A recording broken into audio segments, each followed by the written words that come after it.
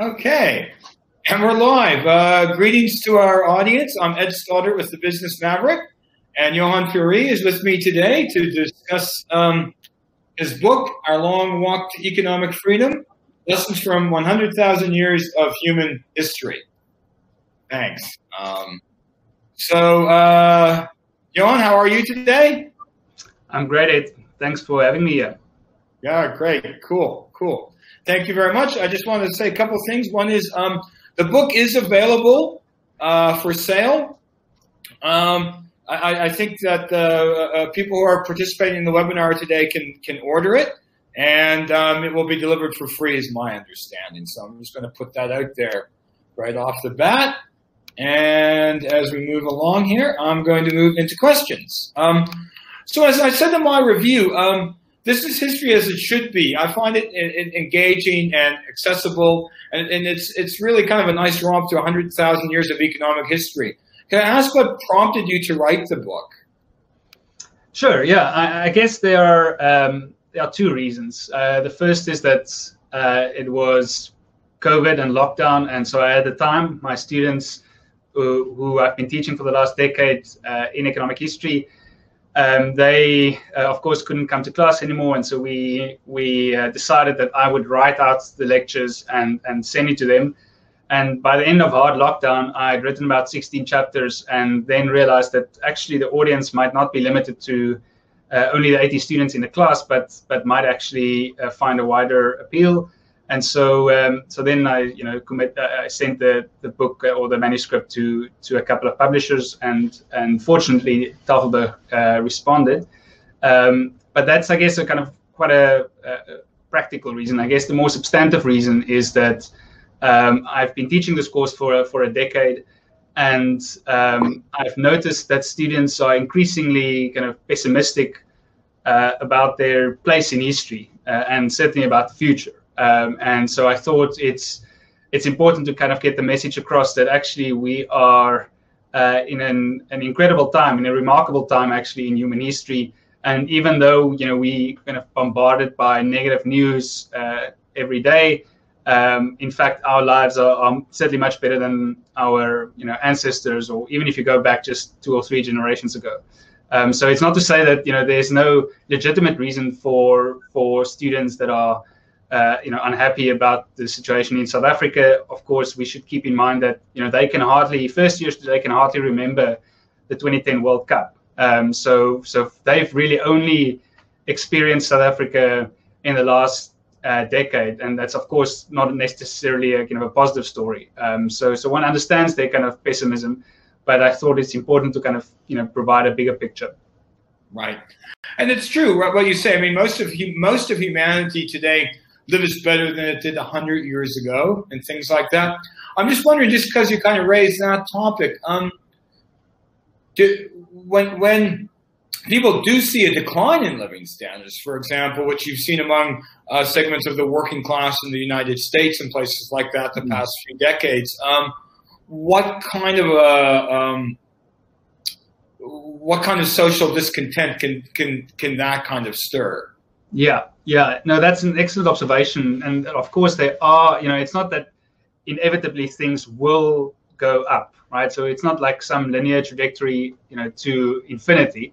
Um, things can go badly wrong. And actually, there's a couple of chapters in the book which which talks about places that have actually experienced declines in uh, per capita income, and and of course, what you referred to is groups within society that could that could experience that. And and you're right that you know the kind of middle middle class in the U.S. have been struggling, um, uh, certainly in the last two or three decades, and and there are several consequences of that. I think kind of the more the shift towards more populist uh, ideas. Um, uh, you know, one could connect that to Trump. Uh, certainly in, in Europe, that's been connected by you know great great research have shown that certainly there is a shift towards the right um, uh, and more kind of nationalistic ideas but also things like opioid use in in the US, um, right. and and and then the kind of consequence for living standards in that case. So you actually not only see a decline in income, but you also see a decline in life expectancy, which is you know un, un kind of heard of almost. Um, so it's not just that there are these extreme cases, uh, you know, the kind of classic I guess, example is, is Zimbabwe, or or if you want to go to Latin America, Venezuela. It could also be in a country that's um, you know, with with the average decline uh, increase in, in income, you could see subsections of the society that, that are in decline. And then, I mean, that raises really interesting policy questions that you know we, we can go into. But but certainly, I think that's it's not an inevitability that things must go up. Um, um, so that's certainly that's certainly true. Okay, and then if I can ask, um, in terms of just on that topic, then in terms of South Africa, how fertile is the ground here for the for the EFF, for example, to um, make significant uh, inroads, or perhaps um, you know one of the political parties that has got kind of a, a theological base. Yeah, I you know I, am not a political scientist, so I'll keep the answer short. I, I think there's always fertile ground for um, more kind of uh, populist rhetoric um, when things go bad. Um, but it's also not a it's not a clear cut case, right? So one should keep in mind that uh, our the shift within the ANC towards more populist policies came in 2008 2009 actually just on the back of an amazing period of economic growth in 1948 when the national party was elected uh, or the purified national party was elected into power and, and we obviously have the introduction of the apartheid policies that came after 15 years of amazing gdp growth um, so one should also be cautious and not say that it's only it's inevitable again that a period of of stagnation or decline even would necessarily lead to you know these populist policies or even the opposite that a period of of exceptional economic growth might uh, inevitably kind of be followed by better uh, political policies. So so i think those are uh, you know the kind of relationship between economics and, and politics is is not a it's not an easy one to kind of model certainly Right, right. Um, we're getting some questions from the audience. Um, Michael McLagan is asking if your work has been influenced by other authors who have written on the topic. He's thinking of, uh, for example, Jared Diamond, um, and James Robinson, uh, etc. Um, and he asks, how does your work differ from theirs?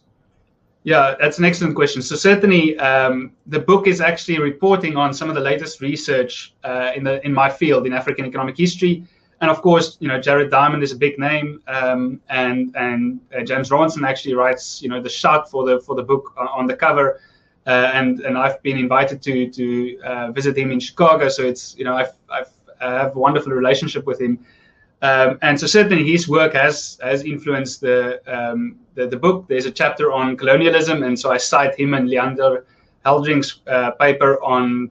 Uh, you know the effects of the colonial experience. There's a there's a chapter on um, the kind of uh, uh, uh, Bantu migration at the very start of the book, I think chapters four or five, and and there it's all about Jared Diamond's work. Um, I guess you know there are several other economic historians that are probably less known, lesser known. Their work is lesser known. They publish more in in in kind of academic journals, and it was important for me to also highlight uh, those contributions. Um, so, so I guess many of us are familiar with these names. Uh, you know, the Jared Diamonds, the James, the James Robinsons, but it was also important to kind of to showcase, I think, uh, some of the mo- most uh, recent work on, on the topic. Right, right, great. Um, just a reminder to people out there to please feel free to keep asking questions. Um, I'm going to just ask a couple more as we're going along. Um, so, like I've said, you don't you don't really pull any punches. In chapter six, you flatly you flatly say that the late Zulu king and Charlemagne uh, that what they had in common was feudalism. Um, so, do you believe that feudalism is the best way to describe the state of affairs in the former homelands? Yeah, I think I, I, would go even beyond that. I would say um, I think there's still a lot of remnants of feudalism. So, so when you teach, you know, second year students and you teach about you know, medieval Europe, it's very difficult to kind of get them excited about history, right? Especially if I, you know, I teach commerce students. So, so why should they care about about history? And so this, the purpose really is to show that you know many of these institutions are still pervasive in society today. And so, you know, you're right that there are feudal uh, legacies, I guess, in South Africa, and so the former homelands is a good example of that. Of course, it's not exactly the same, but the kind of rough uh, uh, uh, format is that you have a a leader, king, you know, Charlemagne or King Zwelithini, and he has vassals. Uh, in the olden days, these were would have been the knights. Uh, today, it's like traditional chiefs, and they then have you know servants, or uh, in South Africa, kind of uh, the Zulu uh, um, farmers, um, and and so property rights are often uh, ill-defined, or certainly ownership rights are are with the with the vassals or with the king. Um, and so it's a similar system in that sense.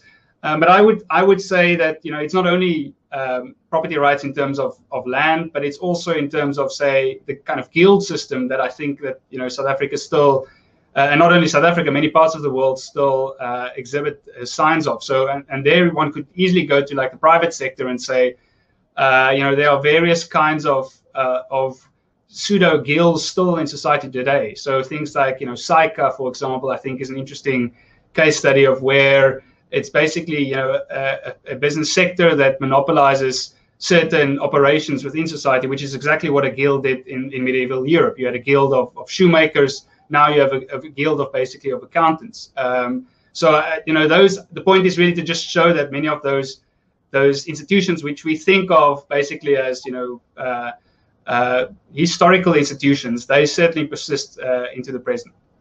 Okay, right.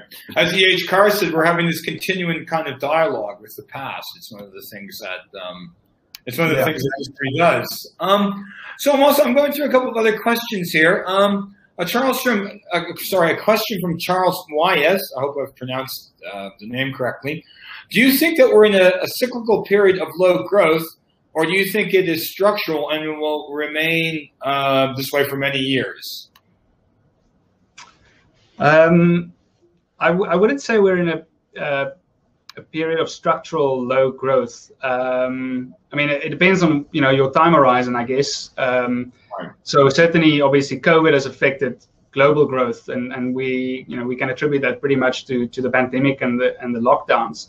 Um, but um, you know, if you take the decade before that, we we see you know certainly in developing countries we still see pretty impressive growth. Maybe maybe in the years or two before 2020, not so much, but certainly in the in the early 2010s we see we see quite impressive growth in many developing regions.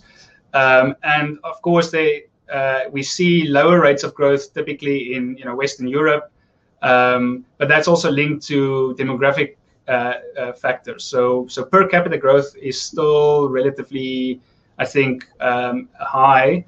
So my sense is that you know if you if you had a shorter time horizon, maybe it's more cyclical given the kind of pandemic. Um, uh, but also then you know we see pretty pretty rapid bounce back this year already. Um, so so I'm not uh, I'm not too worried that um, that we've run into a, a, completely new era of low of low growth. Even though obviously there are scholars that suggest that you know we've we've basically discovered everything we could, and you know technological uh, innovation is is ceasing to some extent. But but I think you know what COVID has shown us, at least the silver lining, is that that's not entirely true. We see incredible innovation in the last year or so.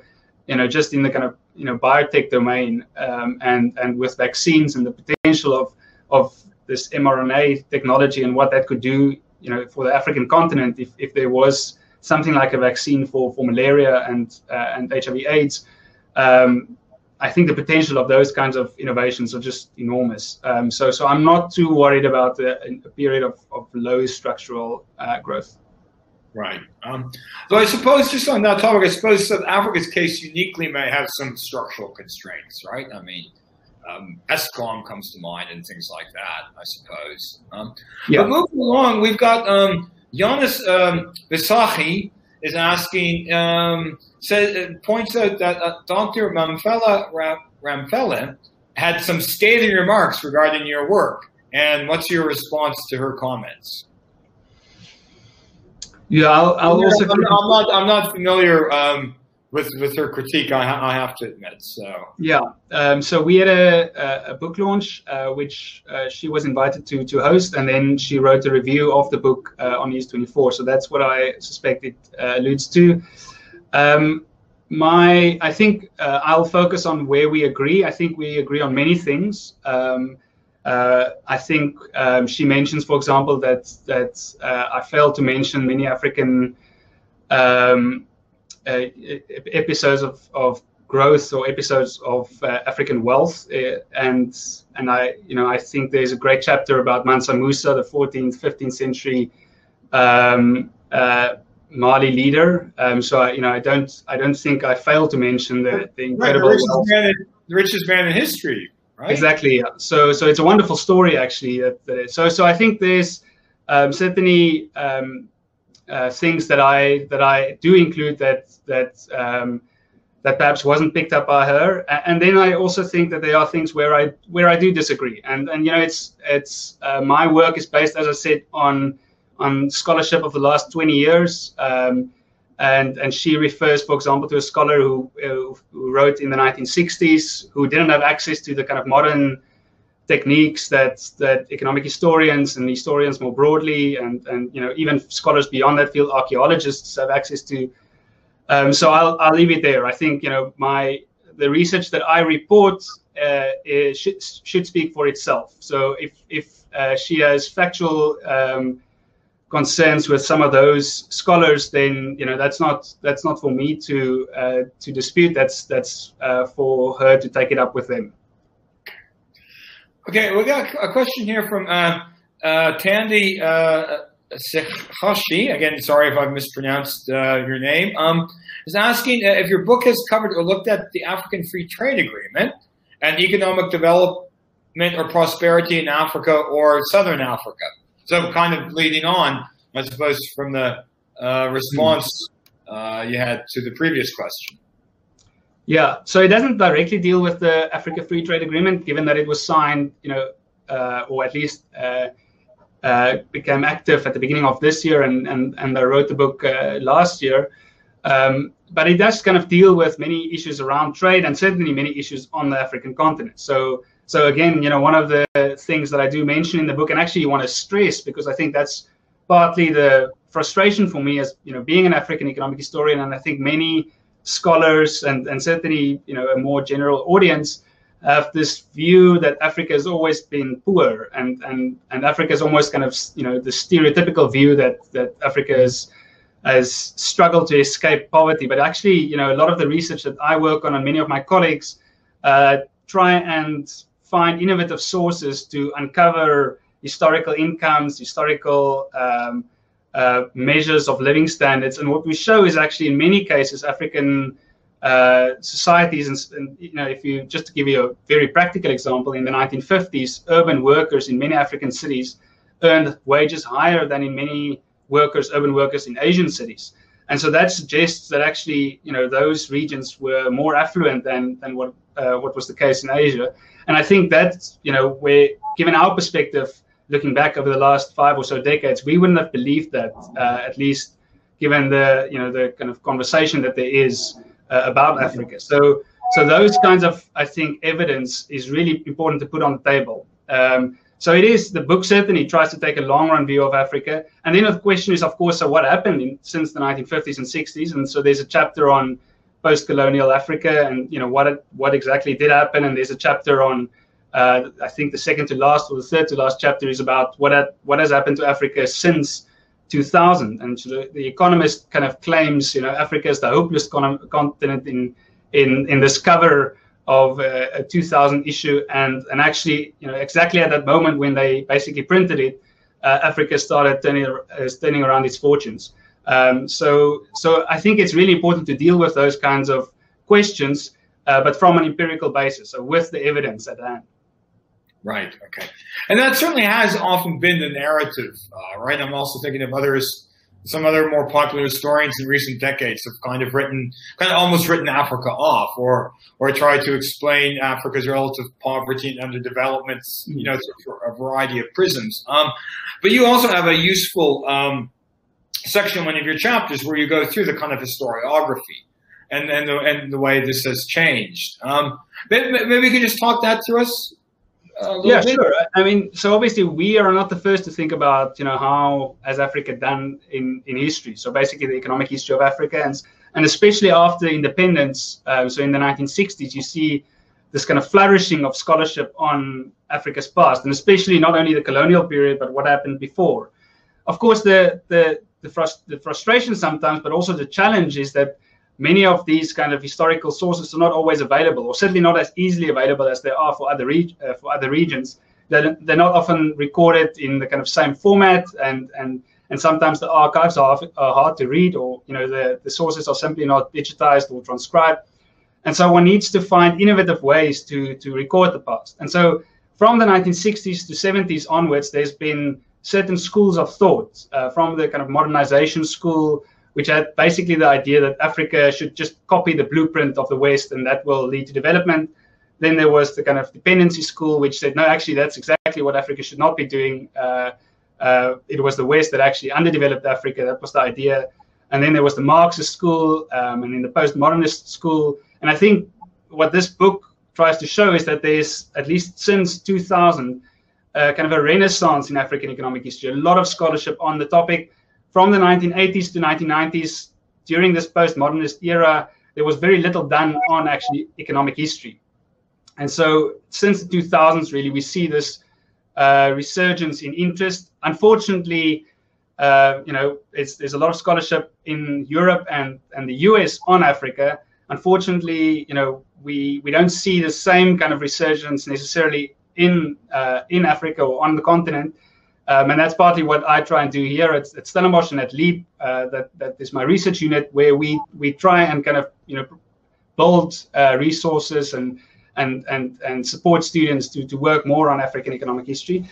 Um, and so the approach that we are taking is a far more empirical approach. It's really kind of going back and seeing can we uncover sources about, you know, in, in, in, you know quantitative sources typically about uh, living standards in the past, and, and what does that tell us? So it's it's basically asking two kinds of questions. The one is just what happened. Tell us, you know, were living standards high or low? And the second question is the why question. So why did things go wrong, or why did they? Why were they perhaps? Uh, what, what are the kind of uh, persistent effects of, of the slave trade, which I mentioned in the book, for example, or, or why did Europeans try and colonize Africa? You know, if, uh, I think those are some of the fundamental questions where we all perhaps have um, uh, uh, ideas of what might cause it, but ultimately I think they boil down to, and this is what I hope to show in the book, is that they boil down to economic reasons. Um, and um, and kind of the scholarship that's now developing around this topic is trying to point that out. Right. So what you're saying too is the scholarship around that topic now is developing a more kind of empirical approach. Um, and again, it's it's it's come back to the to E.H. Carr's point, it's it's about uh, this sort of continuous dialogue that historians have with the past. It just keeps, mm.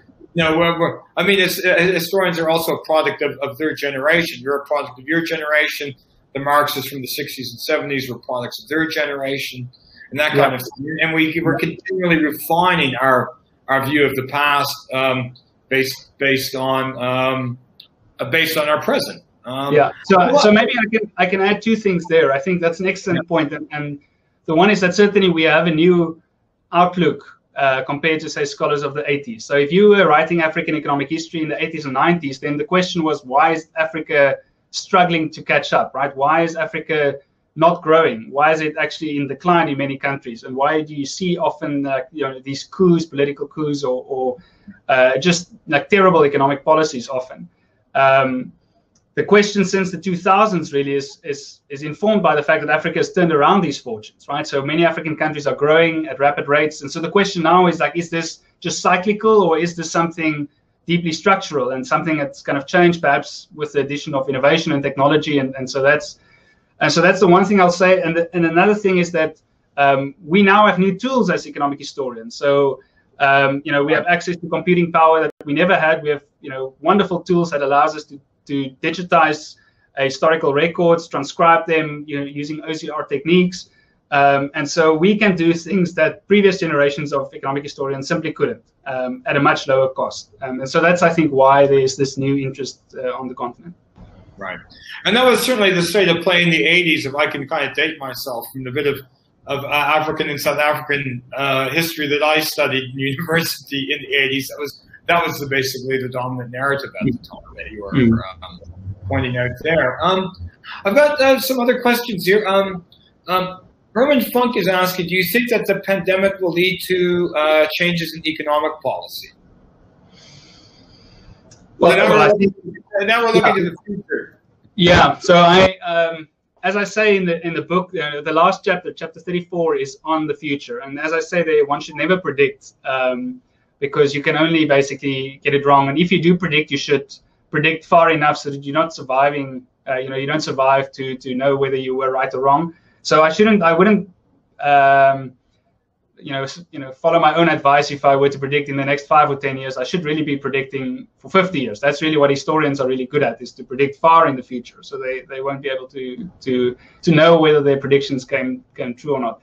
Uh, but I I think it's inevitable that um, that policies will change. I I um, I just I, I think there are um, uh, there's a new way of life uh, in many cases, we we've realized that things like this, you know, it's a simple example, but you know, we can have these meetings online, and, and that's amazing. Um, so there's efficiency gains that will be had, um, uh, and I think many businesses are also kind of coping with um, uh, with uh, both the challenges, but also the opportunities that this kind of online world uh, offer.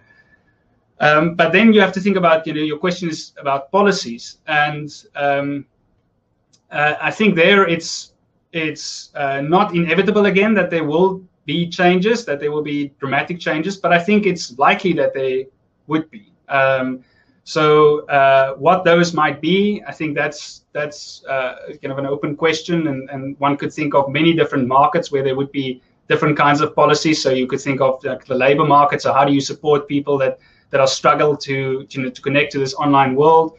Um, perhaps things like, uh, you know, we know that in South Africa, unemployment is a major issue. So how do we think about providing some form of, of support uh, through a basic income grant? Uh, but while you do those kinds of forms of support, perhaps you need to also remove some of the regulations that, that prevent the market from operating efficiently. So um, so one needs to think about those kinds of, of issues. Obviously, the property market, one can imagine, would, would be heavily affected by something like the pandemic uh, you know, transport, all of these uh, I've mentioned, you know, uh, uh, medical services and, and biotech. Um, so I can imagine that there could be many different um, policy changes, and, uh, but the question is really whether whether that will happen in South Africa and, and, and more broadly. And, and I, I probably shouldn't venture a guess there. Right. Okay. Um, I got a question here from Alex uh, Schubert. Um, he's asking, what's your expectation regarding adaptation of um, 4IR, 5IR, cryptocurrencies, democratizing the financial systems, and AI as pragmatic opportunities for African countries to catch up on the developed world? Yeah, I'll uh, again. That's a question about the future. So let me say something about Africa, perhaps, which I haven't mentioned in, in the previous answers. So, so I think um, Africa has always had a, you know, we've got this huge land mass um, and labor scarcity. Basically, that's historically been true, and that's given rise to, as I show in, you know, chapter four or something, yeah. uh, given rise to cultural institutions that that many of them persist uh, to this day. Um, but it also has an effect on trade. So, you know, previously we've mentioned um, uh, this free free trade agreement it's just really costly to trade in Africa, given the distance that many of these, you know, manufactured goods uh, or any kind of good really has to travel. Um, so, so there, the switch towards services, I think, would have enormous implications for the continent because instead of now, you know, having to have a container transported from Maseru, you know, in the mountains to, um, you know, anywhere else, either on the continent or outside the continent, it's just too expensive to do that. Um, so, uh, but but with you know fiber, that becomes almost you know costless, um, and so then suddenly Africa gains a competitive advantage in the trade in services, and so.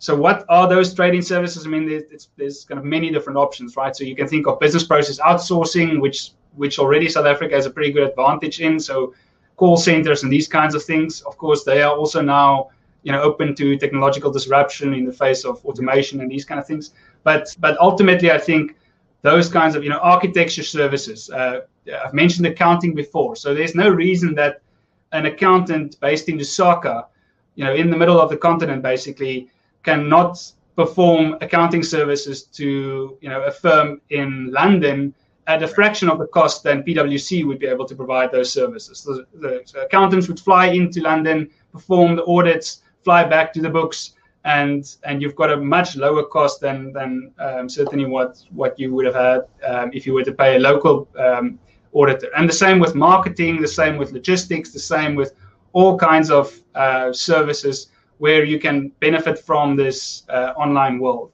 So I, I, see immense potential there. And of course, the fact that Africa is becoming connected, obviously on mobile, not so much uh, yet um, uh, by other means, means that there are, again, interesting opportunities in the fintech space. We see already quite a lot of fintech innovation on the continent. Um, there, you know, there are many different again markets that one could think that would be for uh, uh, has potential for Africa to disrupt not only on the continent services on the continent but actually outside the continent and then those trading services become uh, you know something that I think we can pin our, our hopes to. But I suppose too, um, technology and automation um, also inevitably can lead to job losses. Um, you mentioned you, you, cover some of this ground in your work. Um, so if I'm just thinking about South Africa, for example, um, you know, I, like I said, I, am from Canada, um, and back home, uh, everybody pumps their own petrol or, or, or, gas, as we say back home, right? So here, I mean, you've got someone pumping your petrol, wiping your windows, checking your oil for you. Um, so if, if, if, that kind of uh, North American and I, I, guess probably European model for for uh, petrol stations was to be uh, was to take root here, that would automatically throw tens of thousands of people out of hmm. work. And I suppose too, like in the agricultural sector, um, there's increased mechanization. The, the mining sector is increasingly mechanizing. There's also also health and safety reasons for that. So there is a social benefit that comes from that. But at the same time, it, it is going to lead to job losses um, in, in the short run.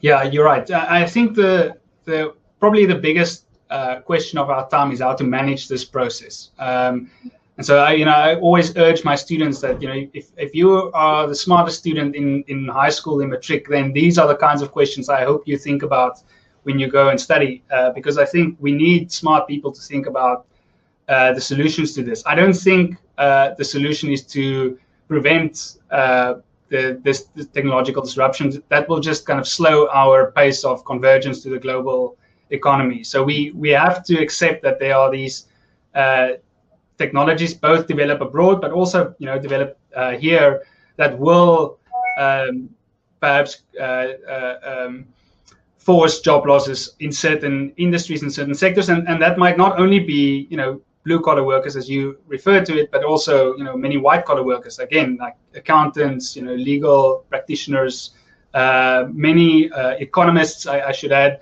Um, could be threatened by by these uh, new technologies. So, so the question is, how do one uh, adjust? Um, I tend to be, uh, given you know my view of of kind of a long run, I tend to be optimistic that that the kinds of services again that we uh, will create with the technologies that that become available would simply uh, allow for different kinds of jobs. Um, and I think service sector jobs, again, where you interact with people, we've learned, I think, in the last year um, how awkward it could be to just be in front of a, a Zoom meeting or a or a right. you know kind of.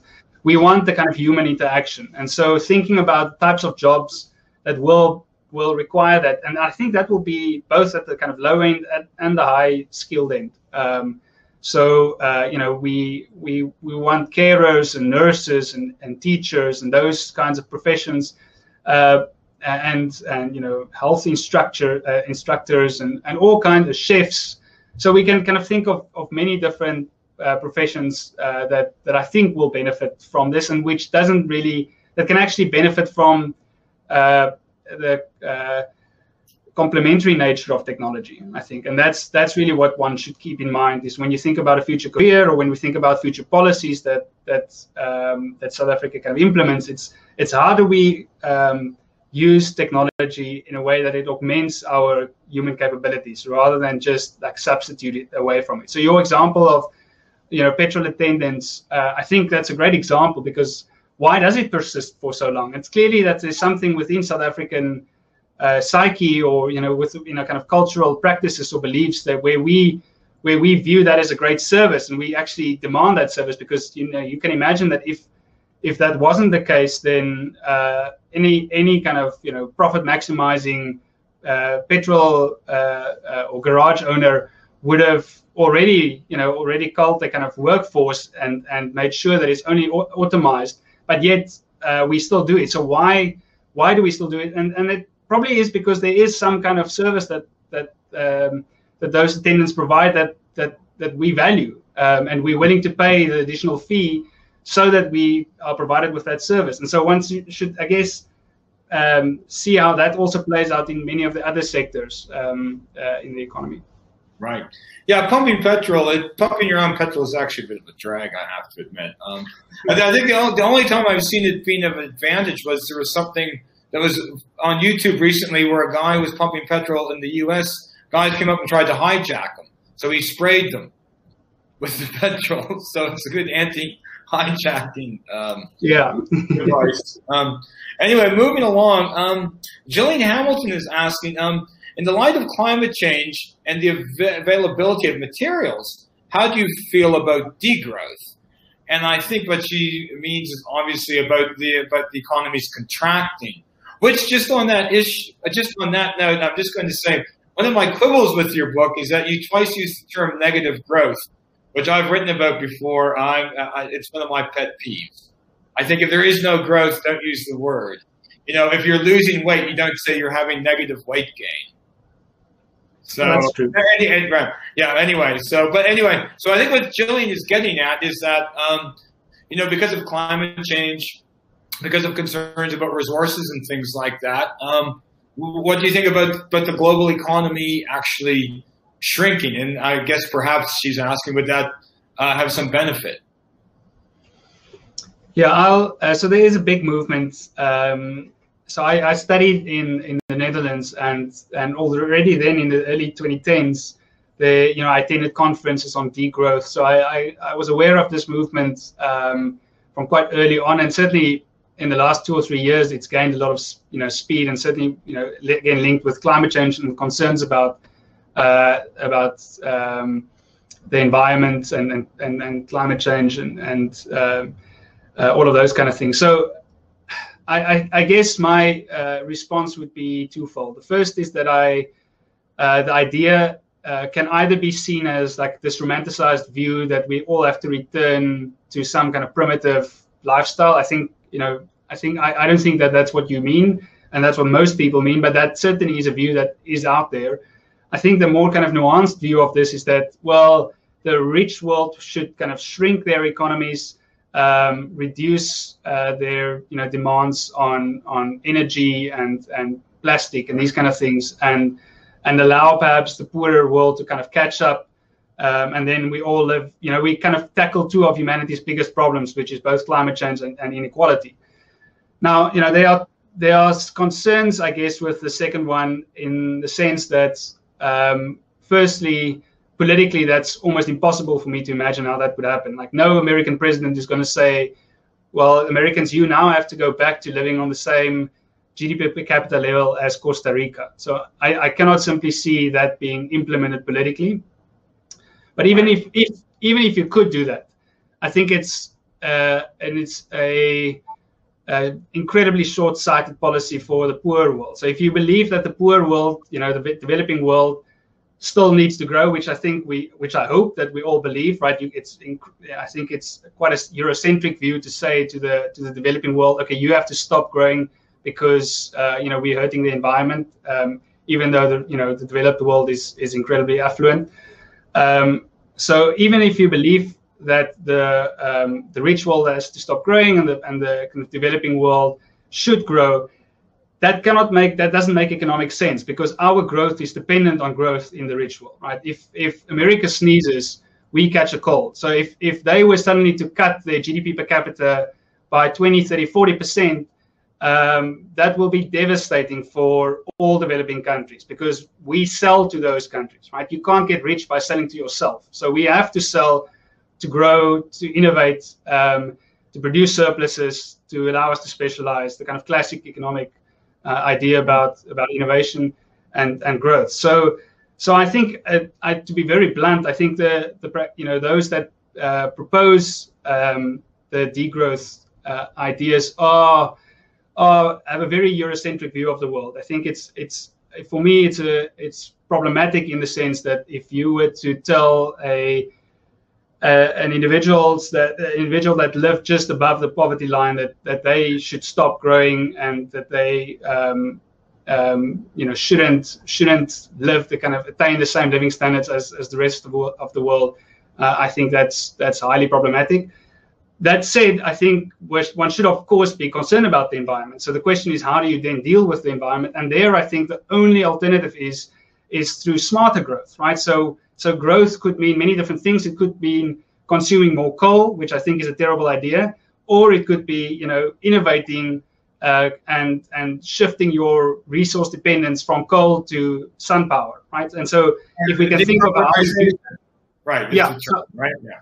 So, so if we think of, of how in society we you know both uh, we encourage the kind of innovation that would make that happen, but also you know in government policies to shift for example, in the South African case, you know, how do we still have a society where we have a, a, a monopoly uh, provision of energy, right? That's just that's just silly. Um, we should make it accessible, you know, for entrepreneurs to innovate and to uh, uh, provide us with the with the smart growth that I think we need. Right, right. Um, so and, and just on that on that topic, um, what do episodes of um, since we're talking about economic history here, what do episodes of degrowth uh, suggest about the trend from the past? I mean, what does history tell us? What happens when an economy goes through a sustained period of degrowth? Yeah, yeah, excellent question, and and and you're right. It's that's almost the kind of the proof of of you know what I've just said is like it's never been the case where you see a society uh, reducing GDP per capita and um, uh, you know doing having better living standards or or raising their kind of life expectancy. That, those are all correlated. So I know that there's a huge critique against just using the measure of GDP. Um, but GDP right. ultimately still measures a lot of the things that we care about. So it doesn't measure everything, and it, it you know there's a lot of things that it exclude. Uh, but ultimately, GDP is correlated with a lot of other things like that, that we really care about, like uh, life expectancy, uh, like infant mortality, even like happiness, right? So these things are, are highly correlated.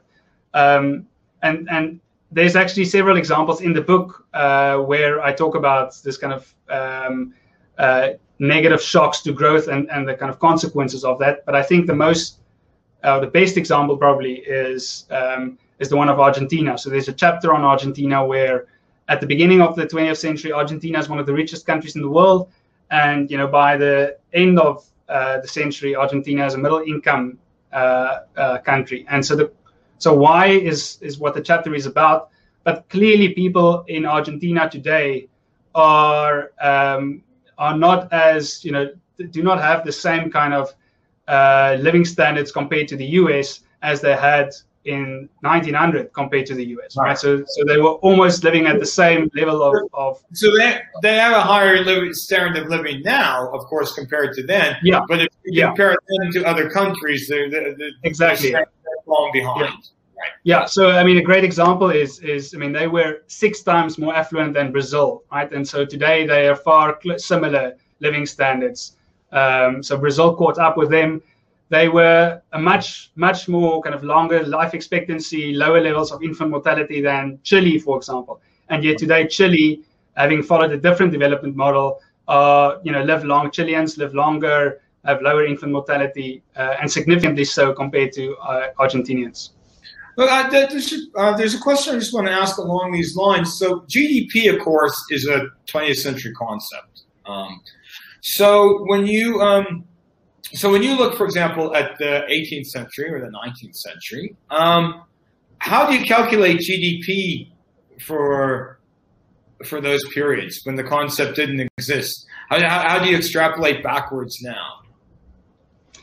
Yeah, it's it's tricky, right? So I, I've done this with my with my former supervisor for South Africa. We constructed GDP all the way back to 1700, right. um, and and there are many different kind of methodological question that one has to to ask and and assumptions that one has to make and you're right it is a concept for the for the 20th century but of, of course you know, what is GDP? It's basically all the value that's produced within a year within a specific uh, country or the borders of a specific uh, country. So, um, so one could take that same kind of definition and try and apply to, you know, uh, an 1800s uh, Cape Colony, which is what what I did, um, and you know, calculate all the what you think of all the farmers and what they might have been producing. We know what exports were, so we can add that. We know what imports were, so we can deduct that.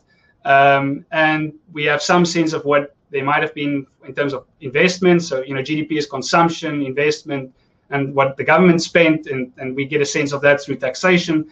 And so it's ultimately using the kind of methods of today, but trying to find innovative ways of, of calculating it. And and um, it's not a precise estimate. You can kind of debate about where, you know, whether it's 10% higher or lower but I think it ultimately is a nice, you know, gives you a nice ballpark figure. Um, and what it certainly shows is that we are much more affluent today than we were in the past, right? So, so I think that's really what the, the point of the of the exercise is.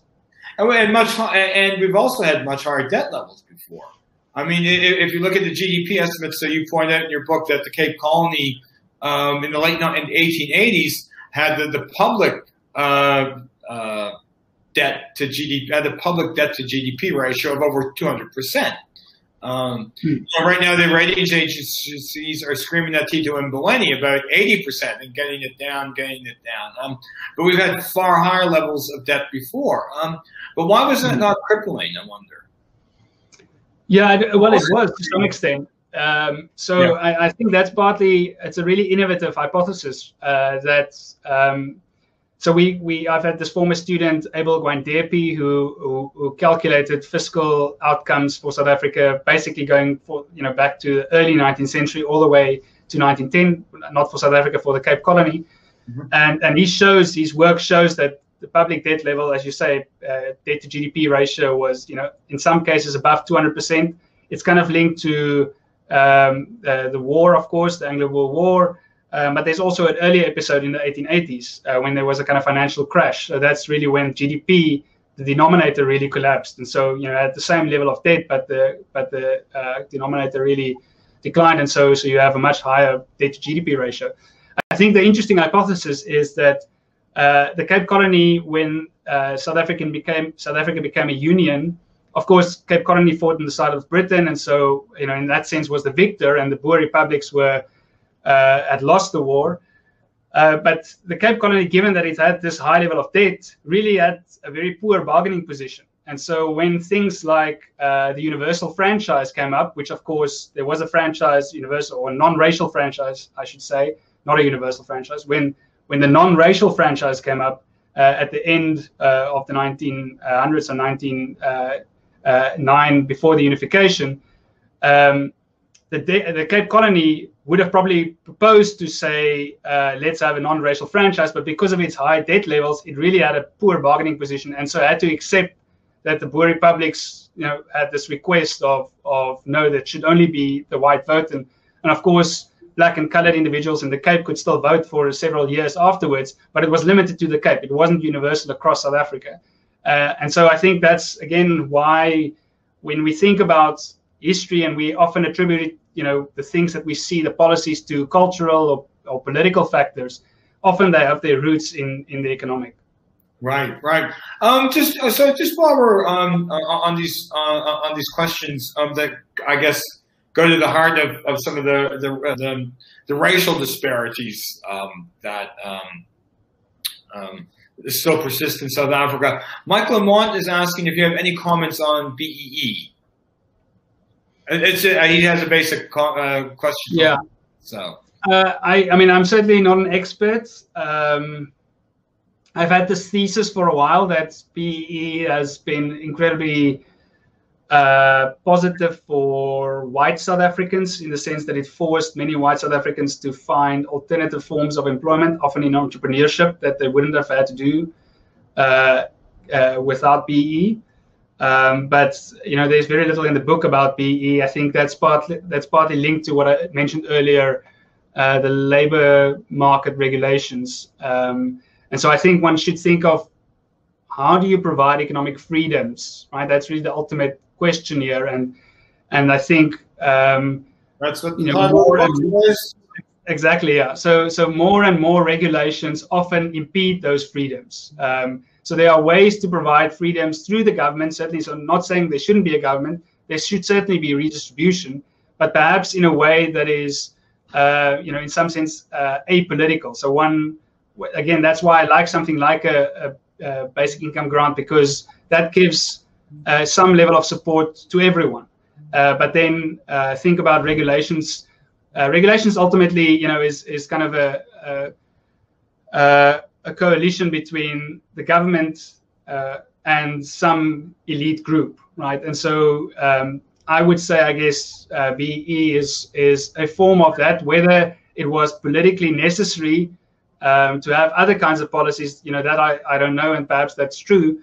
Uh, but but ultimately, if we want economic freedom, um, I think um, having a, a, a, lower level of regulation, but with a perhaps a better level of support, I think would be would be the way to go. Okay, that's interesting. Um, we, um, just going through a couple of the other questions here, just as we're wrapping up. Um, oh, the other thing about debt levels. One of the things that I did when I found out from your book was was that Britain only in 2015, sorry, six years ago, basically finished paying off the debt it incurred from paying compensation to slaveholders when uh, when emancipation came to the British Empire in the 1830s. Um, and I was I was kind of gobsmacked uh, about that. I mean, my the response is basically WTF question mark. So I'm just wondering, um, just just while we're kind of on this broad topic, um, I mean, if slaveholders were compensated and the British taxpayers were paying for that until a few years ago, and, and Haiti is another example of this, where maybe a lot of its underdevelopment is from the fact that it incurred a, a, debt to compensate slaveholders, and that wasn't paid off until the mid 20th century. Um, does does that help?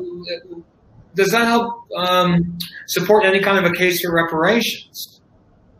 And I, I yeah, mean, you didn't look at that issue specifically in your book, I know, but I'm just um, yeah, yeah. I um, so maybe just some context uh, for those who don't know South African history very well. So emancipation occurred in the British Empire in 1834, with in the Cape Colony, uh, slaves, the formerly enslaved, were free in 1838. So for four years, basically, the formerly enslaved still had to work as a way to add to the compensation. Right? They were paying off their the um, the slaveholders, um, and so compensation was seen as as a way to um, uh, uh, allow basically the political process to happen. So you know there was a massive resistance within British Parliament against uh, uh, emancipation, and so compensation was a way to appease those concerns. Um, uh, so then one should keep that in mind. That's obviously not to justify why it happened, but it's it's a way to explain why it happened. Exactly. And so um, you're right in a sense that what in a, you know if we can go back, one would want to think of a policy where the formerly enslaved would be uh, compensated and not so much the slaveholders. Um, but it also helps to understand why this process of uh, slavery continued to exist, even though there were a lot of moral concerns against it and religious, of course, concerns against it. But why it persisted basically is because it really underpinned the entire financial system. One sees a lot of the work that we are now doing here is to show how um, you know the, um, slaves were often collateral in debt uh, transactions and credit transactions. Um, and so there's a nice chapter I think where I try and highlight uh, this in the book is to show that this is this really was an economic system, um, not only in terms of kind of labor but in terms of capital. Um, uh, so you know the question about reparations, uh, I think in the U.S. the debate is is uh, obviously much more uh, prevalent, and and there I think uh, identify. So there's a lot of practical concerns or questions about how would one identify kind of the descendants. Um, here, I think it would be uh, even more so, uh, given that obviously today's um, formerly enslaved population would predominantly be the colored population uh, of, of South Africa. So so that's that would also be, uh, I think, a, a, very difficult thing to think about. And of course, South Africa has a, a history of dispossession uh, beyond just slavery. It wasn't just that it ended in 1834. We see of course, we know the kind of South African history, which ultimately ended with with apartheid. Um, so, so I think the rep- the question about reparations in South Africa would be, you know, incredibly difficult and and uh, would probably go beyond just uh, the emancipation of the of the enslaved. Right, right. Cool. Um, so I just just as we're wrapping up here, uh, a couple of other questions. Um, uh, Benoit Leroy is asking: Is Africa better off now economically when measuring, say, GDP per capita in, in the in the various ways that you attempt to um, over the past thousand years in line with the West? Um, he's asking if you talk about the about the impact of colonialism in this period. Um, yeah, I uh, so. Um, I think uh, so. I do talk about the period of colonialism, I, I, you know, there's a question about why did it start, but also there's the obvious question about um, what was its consequences, and um, and so that's actually where I referred to this James Robinson paper, uh, trying to think about what might the counterfactual have been. So that's really ultimately, you know, any kind of social science we want we want to kind of test the, empirically test what would be the consequence by having a you know treatment group and a control group. So you want you want, in some sense, some countries to be colonized and others not to be colonized, and then you can look at the difference and you can see, okay, well, this was clearly a negative effect, or this was, uh, you know, there was little effect or so. But we don't we don't have that in in in um, in Africa, and so um, uh, it's really difficult to kind of think about the consequences. Uh, but I think what uh, Heldring and, and Robinson show is that constructing, thinking about creative ways of constructing a counterfactual, they, they basically show that if you classify the kind of three types of colonies that were uh, created on the continent, and, and I mean, that's, that's, I should, footnote there is that it's really difficult because there's so many varied experiences of colonization, but they construct these three classifications. They basically show that each of these three types uh, have it have had a negative effect, uh, you know, of, of, different order of magnitude, but um, but certainly there's no you know there's no sense that um, that Africa, in you know, if you want to kind of take a normative perspective, benefited um, uh, from from from this from the colonial experience, and and we can show that through various ways. Through GDP is now is the one, but there are but there are other kinds of uh, more perhaps localized um, uh, effects that we can test. So so one of the studies that I mentioned in the book is to show that these borders that were drawn, you know, borders drawn by Europeans that knew very little about the continent, um, ethnicities that are split with these borders. So if you live on the, you know, think of the Tswana who live in both Botswana and South Africa, they are, you know, those types of ethnicities across the continent are more likely to be to experience periods of violent conflict than than ethnicities that were not split. And so that's a that's a more accurate, I think, way of testing what the effects of colonialism was. Um, it kind of it, you know goes back to the way that social scientists like to think about these um, uh, these research questions. And and uh, to me, that's that's quite a convincing argument again that there are these persistent effects of, of colonialism. Right. Cool.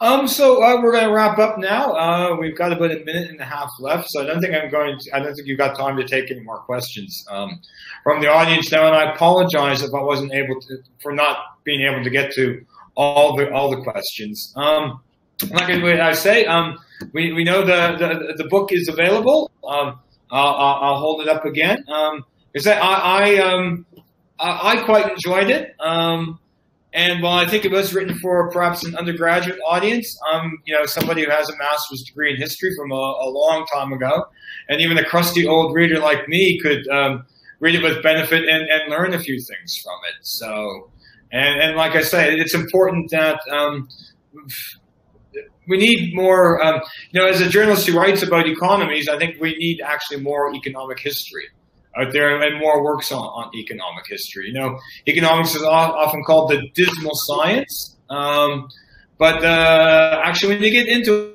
it, there's nothing dismal about it. It's quite interesting. I think so. Um, anyway, uh, and I don't know if we have a, a little bit. Of, do you have any concluding remarks to make, Johan, or?